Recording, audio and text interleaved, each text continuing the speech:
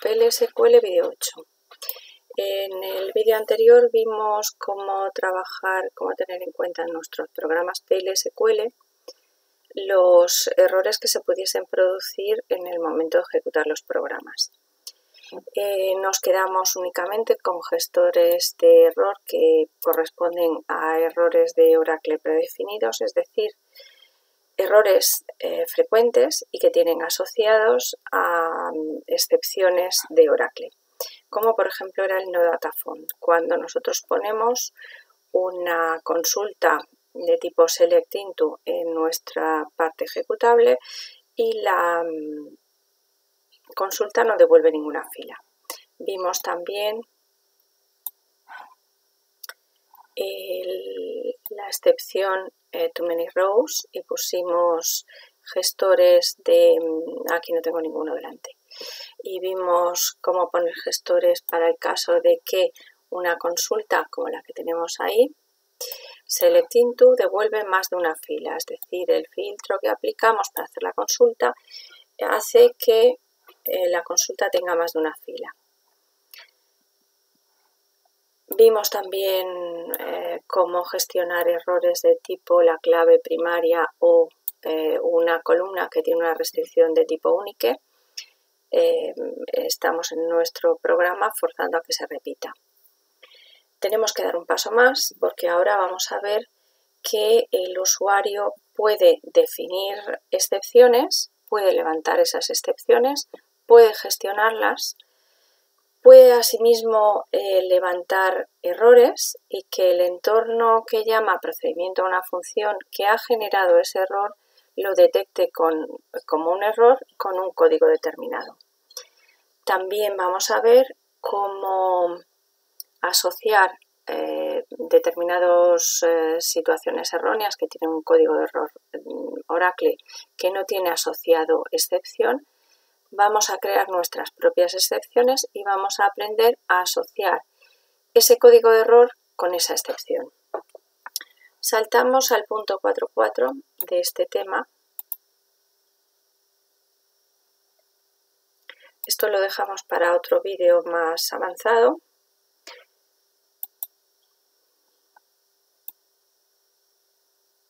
Vale, os decía, ¿cómo se levanta un error?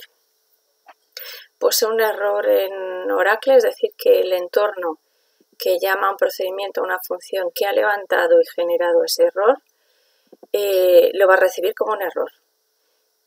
la forma de hacerlo es la orden eh, rise barra baja application error, se pone como primer argumento el código de error, que es un número entre menos 20.000 y menos 20.900. A continuación, una cadena de caracteres que es el mensaje de error que se devuelve al entorno de llamada y opcionalmente true o false dependiendo de cómo queremos que eh, actúe con respecto de la pila de errores. Esto por un lado ya veremos después eh, un ejemplo. Lo siguiente que tenemos aquí es cómo asociar un código de error de Oracle a una excepción. Eh, la orden es pragma exception init, donde el primer argumento tiene que ser una excepción y el segundo argumento tiene que ser eh, el código de error que se ha producido. La excepción puede ser una excepción, aunque no tenga mucho sentido, una excepción eh, ya conocida en Oracle, no data font, too many rows, divide by zero, etcétera, etcétera. O lo suyo es que en nuestro propio procedimiento función definamos una excepción. De este momento, esto es eh, no null, es una excepción y lo que hacemos con esta orden es eh, es una directiva de precompilación que lo que hace es asociar este código de error que corresponde con lo que nosotros mm, veíamos cuando poníamos eh, en el gestor genérico de errores em, de BMS Output Line de SQL Code. Y eh, como decía cuando se produzca el error 1400 eh, lo que va a hacer eh, si nuestro programa tiene un gestor de errores correspondiente a ese error y ese gestor de errores eh, ya tiene asociado la excepción no null. ¿Vale? Entonces, estas dos líneas lo que hacen es convertir un gestor de errores, mm, un error no gestionado en Oracle, convertirlo en un error que para nuestro procedimiento función sí es gestionado. Entonces lo podemos capturar con when nombre de la excepción.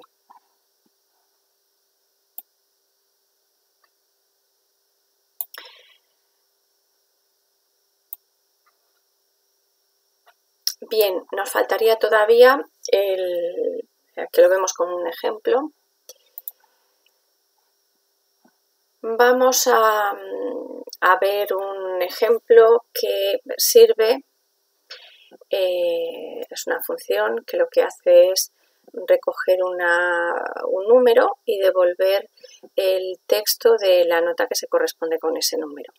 Eh, bueno, no sé si ahora en primaria secundaria se seguía haciendo. Eh, la idea es la siguiente, los, las notas que están entre 0 y 5, excluido el 5, son suspensos. Entre 5 y 6, eh, incluido el 5, excluido el 6, eh, la nota correspondería con un bien, con un aprobado. A partir de 6, incluido el 6 hasta el 7, es, mm, la nota es bien. Eh, entre 7, incluido el 7, hasta el 9, excluido el 9, correspondería con notable. Y si saca más nota hasta el 10, entre el 9 y el 10, eh, la nota que mm, le corresponde es un sobresaliente. Entonces veis que he puesto eh, reemplace función que recibe una nota numérica y que retorna una cadena de caracteres.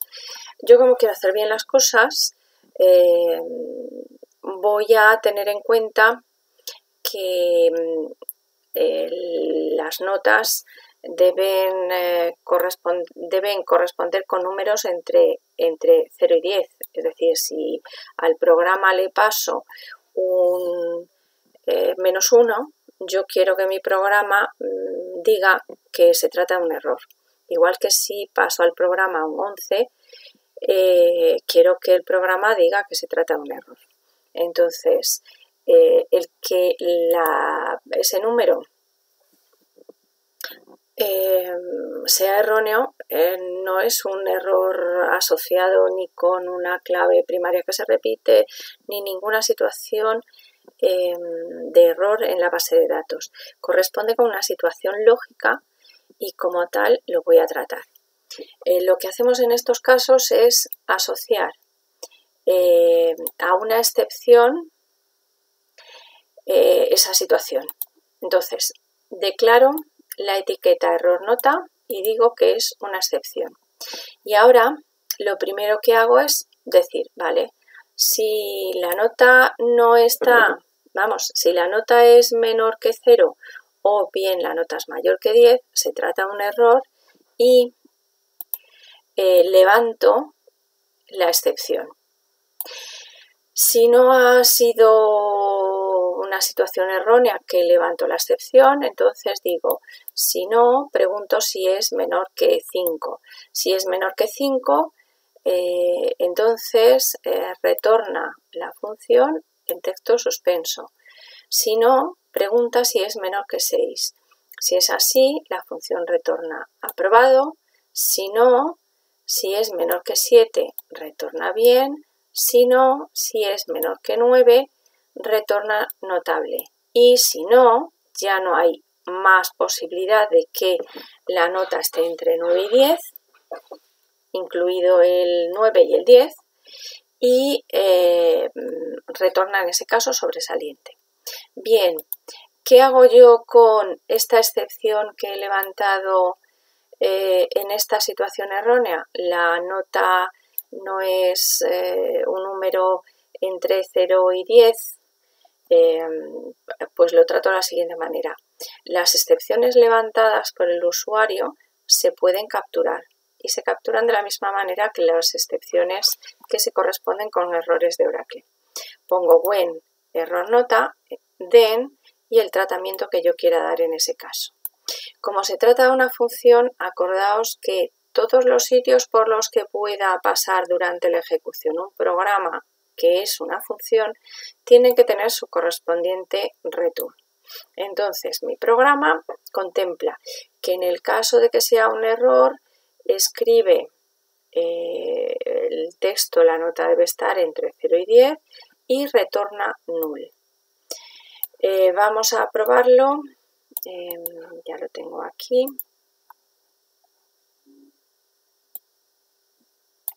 ¿Vale? Tengo aquí la función creada. Em, tengo aquí la función creada.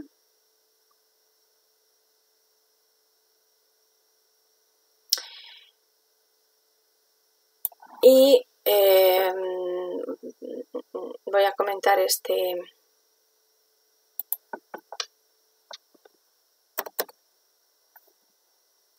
esta orden porque os la voy a comentar más adelante. Hemos dicho que vamos a poner dbms output line y return. Pues lo copio y lo probamos. Eh, la vuelvo a compilar porque he hecho modificaciones.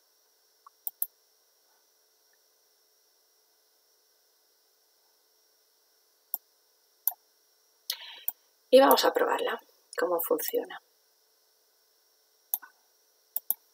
La voy a, mm, bueno, pues aquí tengo dos ejecuciones. Eh, select nota de menos 1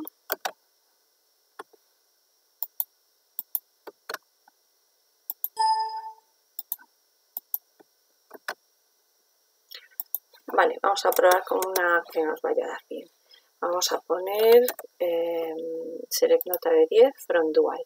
Ejecutamos la función eh, para el 10 y vamos a ver qué es lo que nos muestra sobresaliente. Vale, estamos de acuerdo. Y em, select nota de 11. Eh, select nota de 11 únicamente nos escribe null es decir, que no ha servido para mucho que yo pusiese este mensaje de error y eh, el programa termina bien, la función se ejecuta bien, solo que devuelve un null. No sé exactamente qué es lo que está pasando. Eh, sería mm, bastante más eh, claro si cuando se pasa un número erróneo la función levantase un error. Y cuando fuese a ejecutar eh, esa eh, función con un dato erróneo, pues el programa no me dijese, vale, todo ha ido bien, pero te devuelvo un nulo como no te has entrado muy bien qué es lo que está pasando. Entonces quedamos que una forma de levantar errores, lo puedo poner en, una captura de errores que gestiona una excepción y a su vez levanta un error, puedo ponerlo en la parte ejecutable, puedo ponerlo donde yo quiera, ¿vale? Quedamos que mm, lo más sencillo es ponerle únicamente un código error entre menos 20.000 y menos 20.900 y en este caso em, ya hemos visto que el, mensaje que yo ponga mm, no lo muestra. Eh, cuando se levanta este error es como cuando se produce un error de Oracle.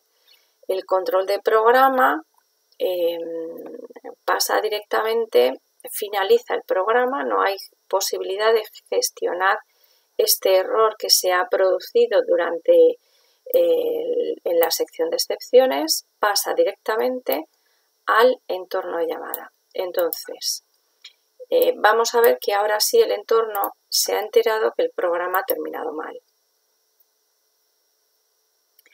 Em, por eso, como va a terminar incondicionalmente Rise Application Error, levanta el error y no eh, se va a ejecutar ninguna de las instrucciones que haya puesto detrás.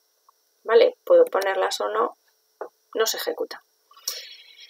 Ya he compilado la función, vamos a probarla. ¿Qué pasa cuando yo escribo select nota de 11?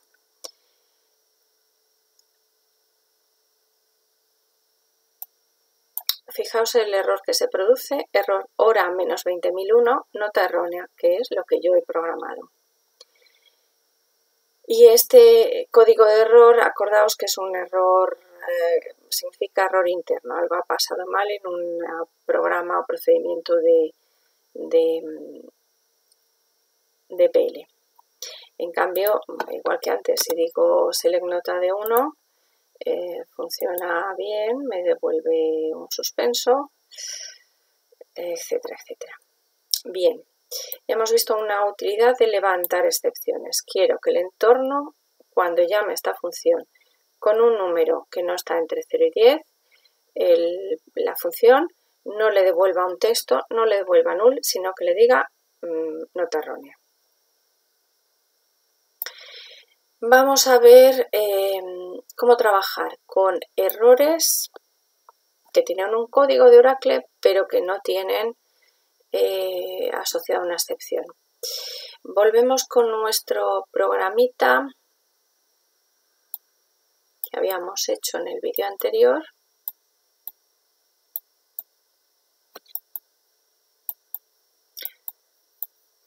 Lo tengo por aquí. Este programa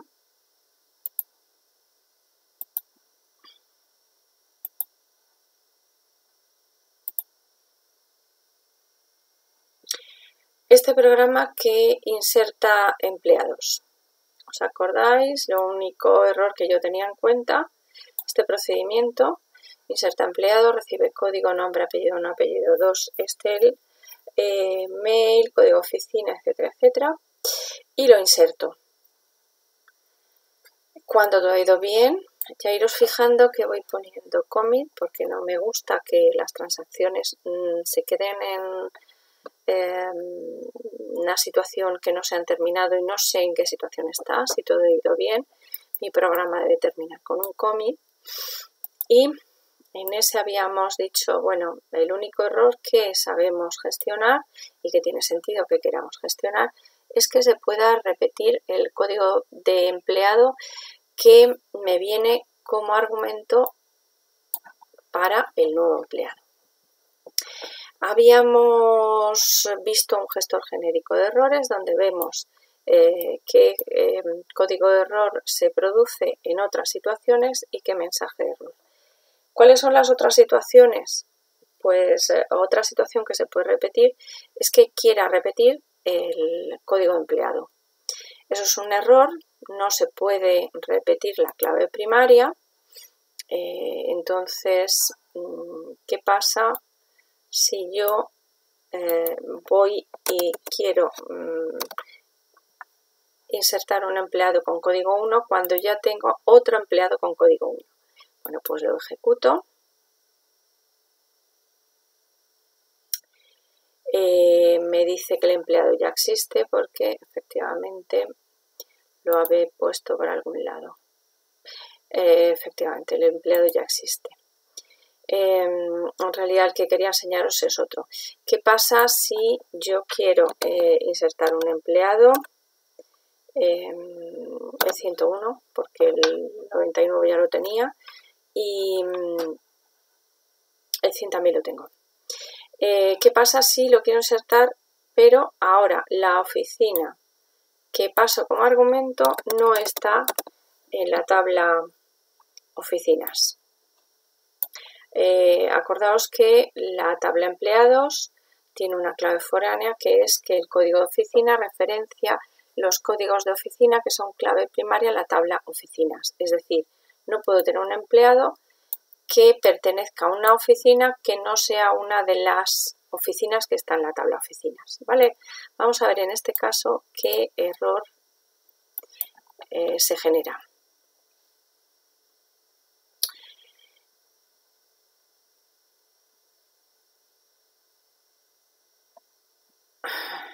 Bien, esto es lo que pasa por tenerlo ya hecho otra vez. Luego ya eh, he ejecutado el siguiente, así que eh, como todas se llaman igual, eh, inserta empleados lo he compilado, vuelvo. Em, este inserta empleados que estaba utilizando es mm, el que tenéis a la izquierda. Y mm, quiero que veáis que me salta un código de error que no está en, la tabla de los códigos de error. Lo ejecuto y aquí está. El código error que se produce, acordaos que le he dicho em, que me muestre primero el SQL code, que es el menos 2291, y después el eh, SQL error message, que es hora 2291, integrity constraint, me dice hasta cuál es la restricción que em, bueno, la restricción que ha saltado por la que yo no puedo insertar ese empleado. Y me dice, mm, acordaos que tenía interés eh, que pusiésemos nombres a las restricciones porque me da pistas. Eh, tiene que ver con empleados barra baja oficinas FK y me dice que no ha encontrado al padre. ¿Al padre de quién? ¿Qué es eso no ha encontrado al padre? Pues lo que no ha encontrado es la oficina. La oficina SFC eh, que yo he puesto aquí no está en la tabla oficinas. ¿Vale? Entonces, este error 2291, buscadlo en las tablas de errores predefinidos de Oracle, no lo encontraréis. Lo que tenemos que hacer es lo que estaba en los apuntes de decir, bueno, pues vamos a crear una excepción. Aquí os he puesto el mismo programa eh, con el que terminamos el vídeo pasado y en rojo os he puesto las modificaciones. Es decir, un paso más, es decir, vale, eh, controlo y doy una salida correcta a mi programa cuando mm, yo quiera saltarme la restricción de clave foránea que tengo en el código de oficina. Como este código no es un error predefinido de Oracle, tengo yo que asociarle una excepción si es que quiero capturarlo eh, en el gestor de errores. Bien, pues eh, le llamo, por ejemplo, error oficina, eh, digo que es una excepción y luego con esta orden pragma exceptionini digo a esa excepción, error oficina, quiero que le asocies solo para este programa el código error 2291. En ese momento, yo además de los errores que ya tenía y antes del when others, eh, pongo when error de oficina, eh, muestra el mensaje código de oficina no válido. Cuando en ese caso, con esas modificaciones que lo tengo por aquí abajo.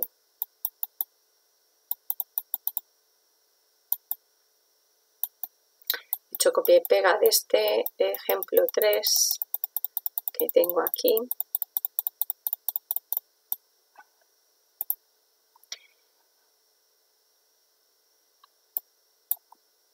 Vale. Este es el ejemplo 3 en donde Em, tenido en cuenta que pueden venirme datos para insertar un empleado que se quieran saltar la restricción de clave foránea del código de oficina y quiero gestionar el error correspondiente, pues eh, lo he hecho aquí, lo vuelvo a ejecutar. Me dice que lo ha compilado, bien, es decir, ya lo puedo probar. voy a insertar el empleado que tenéis ahí, el empleado 100, em, y lo voy a meter en una oficina que no está. A propósito, os puse antes una que sí estaba para que no saltasen dos errores a la vez. Evidentemente, dos a la vez no detecta. Detecta uno o detecta el otro. Eh, fijaros que cuando lo ejecuto, em, el empleado 100 eh, no lo tengo, en la tabla eh, y en cambio se produce un error porque este código oficina no está en la tabla. ¿vale? Bueno, pues así se gestionan los errores de eh, quiero hacer una inserción de datos o una actualización y estoy queriendo dar un valor para una clave foránea y no encuentra la clave primaria de la tabla con la que está asociada. No encuentra ese valor en la tabla. Es el error 2291. Acordaros, no está el padre, error 2291. Vamos siguiendo con esta tabla, vamos a ver otro ejemplo. Vamos a crear un procedimiento que borra un empleado cuyo código se pasa al procedimiento como parámetro. Vamos a eh, crear este procedimiento, es muy sencillito.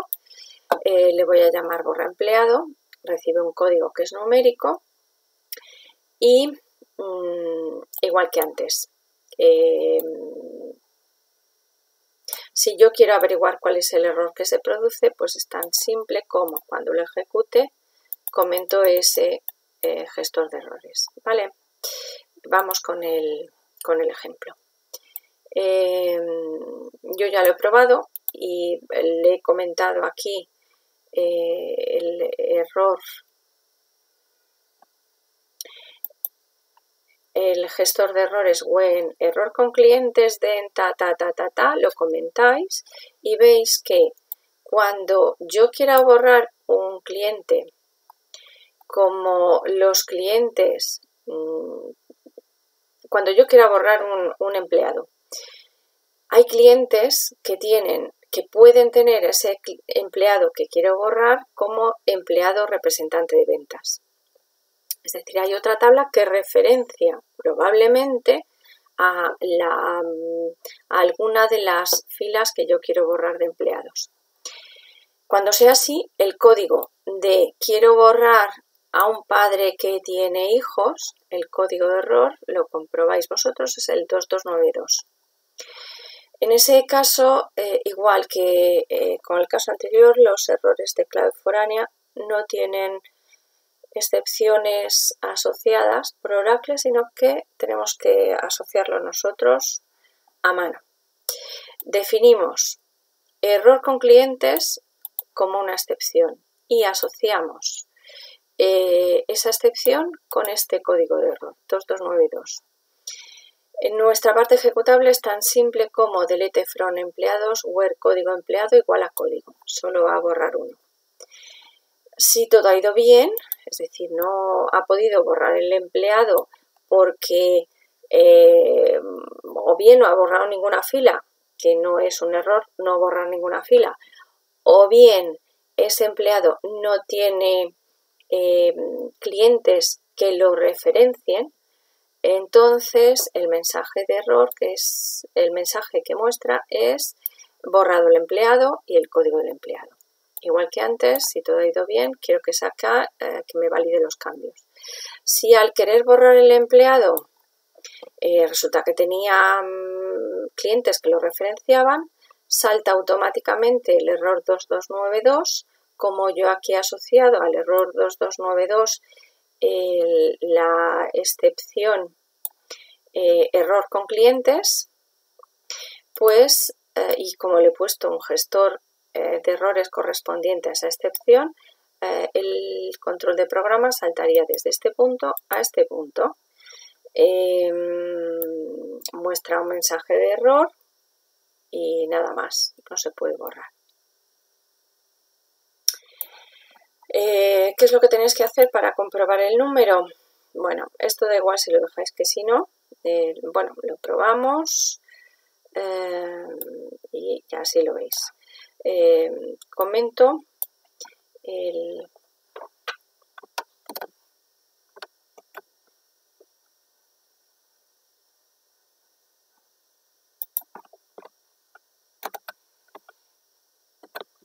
Vale, y lo pruebo. Em, ¿Con quién lo voy a probar? Pues, pues, pues puedo borrar, borrar a Lolo. No, Lolo no lo tengo, puedo borrar alguno que no tenga. Lo que voy a hacer es borrar el empleado 1 y el empleado 1 hay clientes que referencian a este empleado. Cuando lo ejecutamos, como he mm, comentado el gestor de errores,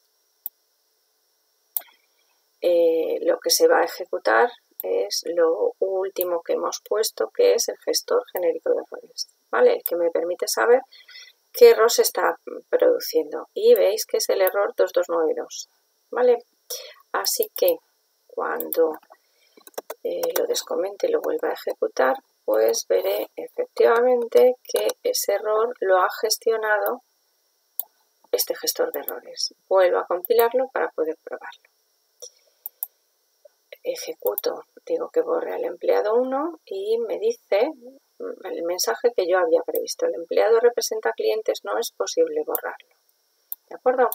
Y el programa termina bien. Acordaros que cuando yo quiero que el entorno se entere que algo va mal, eh, lo que puedo hacer es, eh, con Rise Application Error, generar otro error. Vamos ahora con el quinto programa. El quinto ejemplo que os he puesto es eh, mm, un ejemplo típico de cómo me pueden plantear a mí un ejercicio. Me dice, creamos un procedimiento que inserta un nuevo producto en la tabla productos. El nombre y código de producto, la gama y la cantidad en stock se envían al procedimiento como parámetros. El resto de las columnas que no sean estas que se envían como parámetros deben quedar a null. Eh, se entiende que es que admite nulos, ¿de acuerdo? Por eso he dejado Em, que envíe no todos los valores que están en la tabla productos, sino em, los que son obligatorios. Y me dice, ten en cuenta los siguientes errores lógicos. Yo siempre os voy a plantear qué errores lógicos se pueden producir. Eh, bien, el código de producto ya existe. Es decir, quiero repetir, con estos datos repetiría un código de producto que ya está en la tabla productos. ¿A qué os suena? Pues os suena a querer repetir una clave primaria, pero yo sé que el querer repetir una clave primaria tiene asociado, es un error, por supuesto, que tiene un código y tiene asociado la excepción eh, index. Es decir, que si tengo que tener en cuenta este error cuando programe, el gestor de errores correspondiente a eh, este apartado será balloon index, when balloon index. Apartado B. La gama debe estar en la tabla gamas. ¿A qué nos suena? A que cuando inserto un producto, la gama correspondiente, que es la columna gama, tiene que estar en la tabla mm, gamas.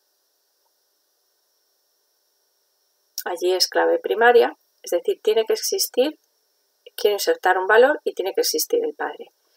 Y por último, la cantidad en stock que se envía como parámetro es menor de cero. Esto no tiene nada que ver, por lo menos no lo tenemos programado como una restricción de tipo check.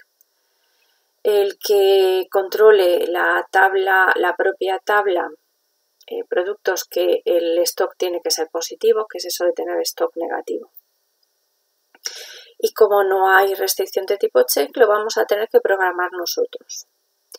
Dice, utiliza un gestor de mm, un gestor de errores para cada uno de los errores anteriores y además el gestor genérico de errores. Debe mostrarse un mensaje de error que explique lo que está pasando. ¿Vale? Pues igual que mm, muy parecido al que hicimos de insertar empleado, creamos el procedimiento insertar producto que recibe el código de tipo varchar2, el nombre varchar2, la gama varchar2, eh, la cantidad en stock que es numérico y em, ¿cuál era el código no existe el padre? Eh, em, 22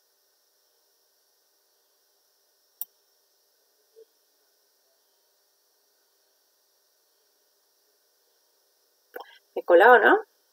2291 hemos dicho, no existe el padre, no puede insertar si no existe el padre.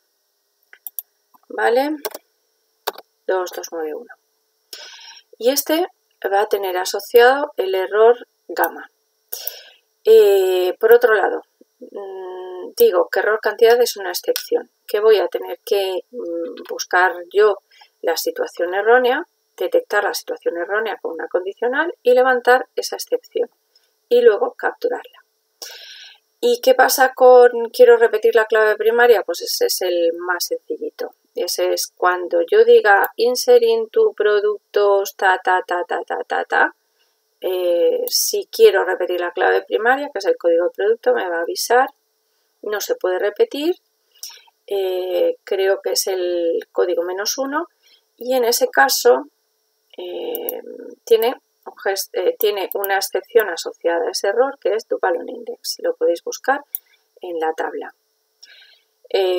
lo capturo y a correr.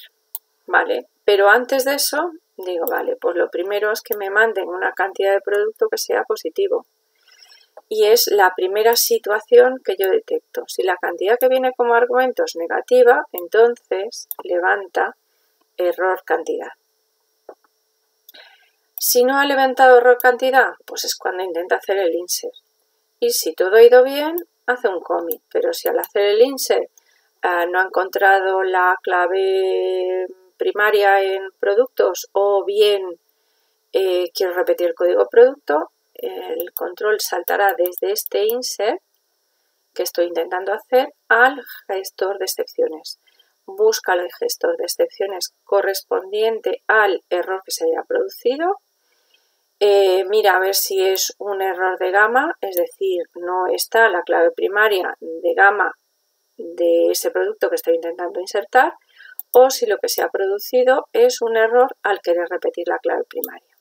Siempre pongo el when others eh, detrás, el último, y en este caso no tiene mucho sentido porque mm, si no se ha producido el insert, eh, pues ¿qué es lo que tiene que hacer rollback? Bueno, pues acordaos, el control de las transacciones lo tenemos que hacer siempre.